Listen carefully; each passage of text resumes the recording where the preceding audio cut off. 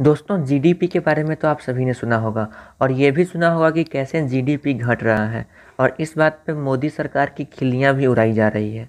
पर जो लोग जीडीपी के बारे में लंबी लंबी बातें कर रहे हैं, उनमें से आधे लोगों को ये भी नहीं पता है कि जीडीपी आखिर होता क्या है और ये फाइव परसेंट जी का कौन सा वैल्यू है जिनके बारे में वो बात कर रहे हैं।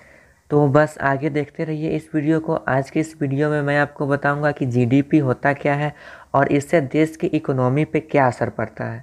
Hello friends welcome to root to a channel where you will get everything और जहाँ पे आज हम बात करेंगे जीडीपी के बारे में तो आइए देखते हैं।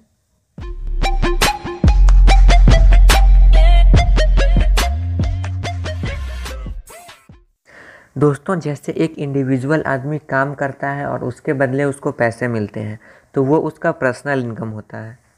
और जब देश के हर एक आदमी का इनकम जोड़ दिया जाए तो जो नंबर निकल के आएगा वो होगा नेशनल इनकम यानी कि वो पूरे कंट्री का इनकम होगा।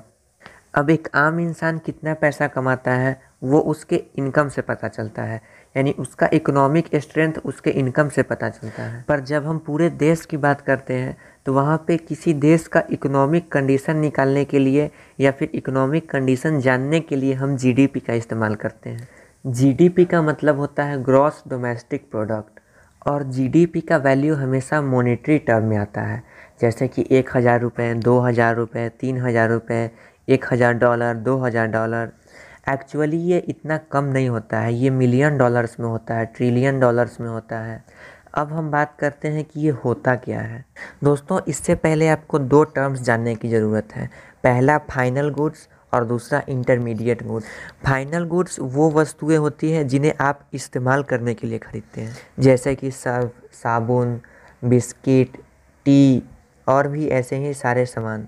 और इंटरमीडिएट गुड्स वो सामान होते हैं जिनका परचेज़ कोई कंपनी या फिर कोई मैन्युफैक्चरर करता है दूसरे सामान को बनाने के लिए। जैसे कि अगर आप बिस्किट खरीदते हैं, जो कि फाइनल प्रोडक्ट है, जिसे बनाने में आटे का इस्तेमाल किया गया है। अब ये आटा कहीं ना कहीं गेहूँ से ही बना होगा और उसे किसी किसान ने ही उगाया होगा। और फिर उस गेहूँ को बिस्किट मैन्युफैक्चरर के हाथों बेच दिया होगा, जिससे कि वो आटा बना के फिर बिस्किट बना सके। अब यहाँ पे जो गेहूँ है, जिसे मैन्युफैक्चरर को बेचा गया, इसे ही हम इंटरमीडिएट गुड्स बोलते हैं। अब हम चलते हैं जीडीपी के पास। तो दोस्तों जीडीपी देश में बने सभी फाइनल गुड्स और सर्विसेज़ का वैल्यू होता है।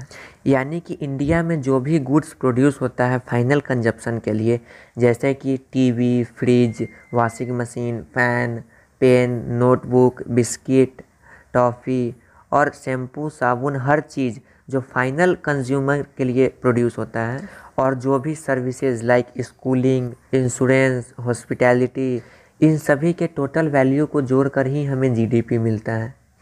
अब यहाँ पे ध्यान देने वाली बात यह है कि हम जीडीपी में सिर्फ़ उसी प्रोडक्ट के वैल्यू को काउंट करते हैं जो हमारे देश में बना हो, चाहे उसे किसी फॉरेन मैन्युफैक्चरर ने ही क्यों ना बनाया हो। अगर कोई प्रोडक्ट जापान में बनता है और उसे किसी इंडियन मैन्युफैक्चरर द्वारा बनाया जाता है तो वो इंडिया के जीडीपी में काउंट नहीं होगा।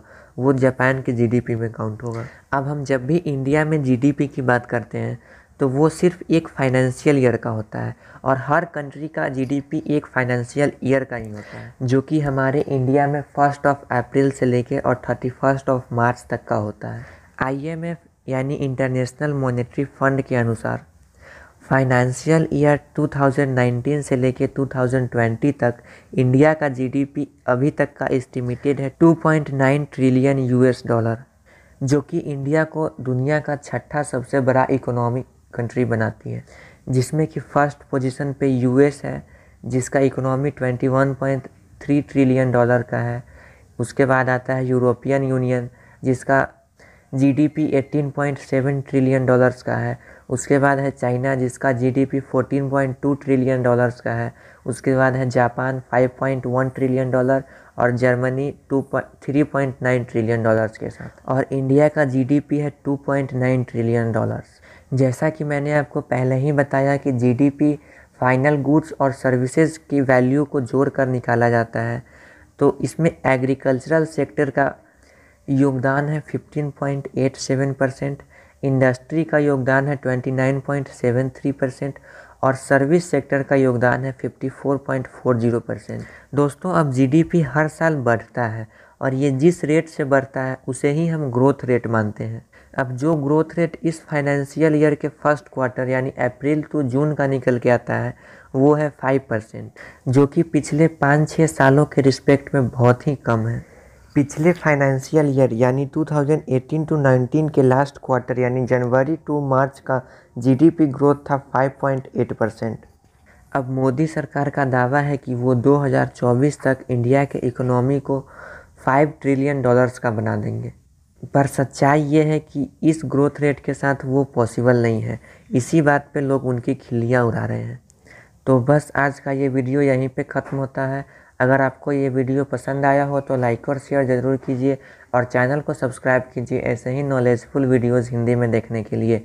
और साथ ही नीचे कमेंट करके ज़रूर बताइए कि आपको ये वीडियो कैसा लगा।